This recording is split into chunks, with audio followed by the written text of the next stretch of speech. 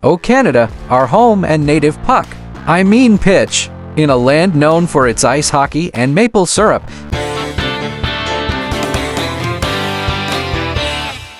The announcement of Canada's T20 World Cup squad has left many scratching their heads in confusion, wondering if they accidentally picked up a cricket bat instead of a hockey stick. Leading the squad is left-arm spin bowler Saad bin Zafar, a captain so cool, he's been known to defrost the pitch with just his smoldering gaze. The team boasts a lineup that could double as a Mountie recruitment poster, with players like the big-hitting Aaron Johnson, who's rumored to practice batting with beavers instead of cricket balls. Dilon Heyliger, the pace bowler, is said to have developed a new delivery called the Maple Leaf Yorker, which leaves batsmen as sticky and confused as if they just stepped in a puddle of syrup.